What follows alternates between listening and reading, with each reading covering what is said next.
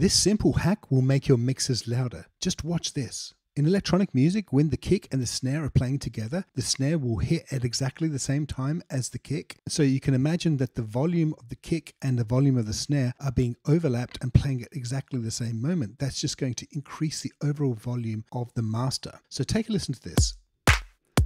You'll see the volume levels here for the kick are 6.67 and 8.3, and the overall master is 3.96.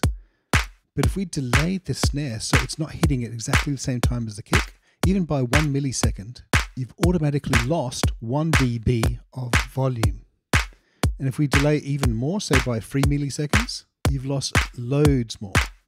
This means that with the exact same volume on each track, you can actually reduce the overall dB and therefore you don't have to hit your limiter or your group track as hard as before. Now, of course, there are other methods like clipping or OTT or using other limiters. And of course, this does change the overall way your song sounds, but sometimes this is a decent compromise. What do you guys think?